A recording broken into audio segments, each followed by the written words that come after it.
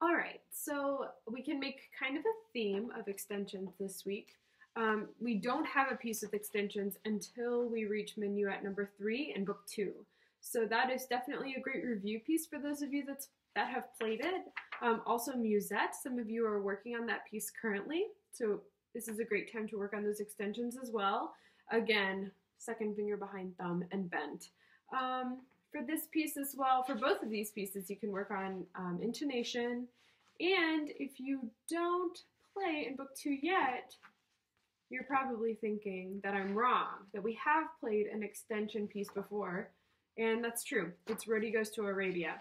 So you could make a fun experiment out of extending in the pieces that you're playing that don't call for extensions, such as this. Um, let's see, how about this one?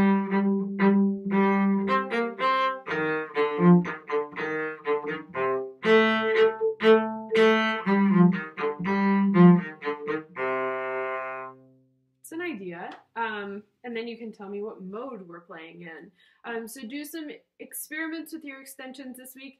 Extensions are very important, and I'll show you why. Um, next week, we'll learn even more scales that require extensions, so stay tuned.